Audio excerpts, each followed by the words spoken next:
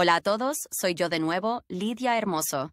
Si aún no lo saben, han llegado a mi canal de YouTube donde hablamos de interpretación de sueños, belleza, moda, estilo y temas relacionados con la salud y la alimentación. Me suelen decir que debo pedirles que se suscriban y den like al inicio del video, así que aquí estoy para hacerlo. No duden en apoyarme.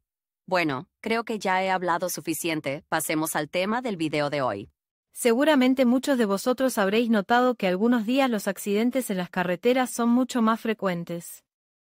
Si se toman las estadísticas de accidentes de tráfico, se puede trazar un patrón claro, el número de accidentes y de víctimas depende del día lunar. Esta situación se debe a la influencia de la luna en los procesos que tienen lugar en el cuerpo y la psique humanos.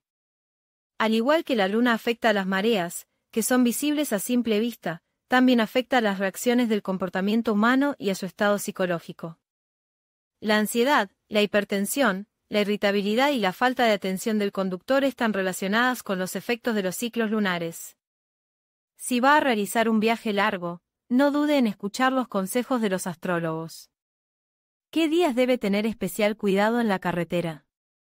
Así pues, propongo considerar los días más desfavorables y peligrosos para los conductores y las principales causas de accidentes. Desde el punto de vista de la astrología.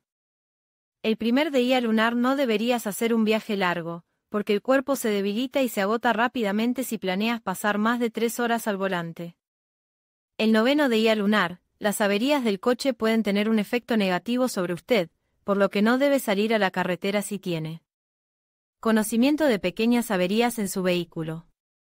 La luna llena es el periodo más peligroso y desfavorable para los automovilistas.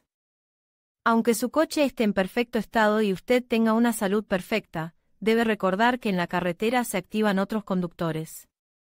Lo que puede provocar un accidente. Durante este periodo, las cualidades agresivas de una persona están en su punto álgido, lo que contribuye a la irritabilidad, la disminución de la concentración y el aumento de la excitabilidad del sistema nervioso. Este periodo también produce numerosos atascos y accidentes en la carretera, que dificultan el tráfico normal. Los días lunares 19 y 29 son un periodo en el que pueden surgir dificultades imprevistas en la carretera, que conllevan grandes pérdidas de tiempo. En estos días, no debe ceder el límite de velocidad de infringir las normas de tráfico, porque sin duda ser advertido por los representantes de la policía de tráfico. Además, estos días no se debe conducir fuera de la carretera e ir a lugares desconocidos, porque se puede quedar atascado o perdido. Buenos días para comprar un coche según la astrología. Ahora vamos a considerar otra cuestión muy importante, la compra de un coche. Si ha comprado varios coches, puede trazar claramente el patrón descrito a continuación. Algunos coches funcionaban correctamente, no sufrían accidentes y proporcionaban buenas emociones e ingresos. Otros coches requerían constantemente reparaciones, inversiones adicionales y a menudo sufrían accidentes. Esto puede relacionarse tanto con la energía de los propietarios anteriores como con el día lunar de la compra del coche. Por lo tanto, los días favorables para la compra de un coche, 7, 10, 11, 17, 21 y 25 de IA de la Luna. Si necesitas un coche para destacar tu estatus social y si quieres conducirlo tú mismo, lo mejor es planificar la compra el séptimo de IA lunar. Un coche para la familia y viajes largos frecuentes es mejor comprarlo los días 10 y 11 lunares. Un coche que requiere inversiones adicionales para reparaciones o puesta a punto debe comprarse el decimoséptimo de IA lunar y el 21 de IA lunar es adecuado para aquellos que sonaban con una determinada marca de coche, diseñado para el trabajo y los ingresos financieros. En el día 25 lunar debe comprar los coches que planea vender en el futuro, o, para restaurar con el propósito de enriquecimiento. Calculo de una fecha favorable de viaje, va a ser un viaje o está planeándolo, pero no sabe si será un buen día para viajar. Quizá debería posponerlo.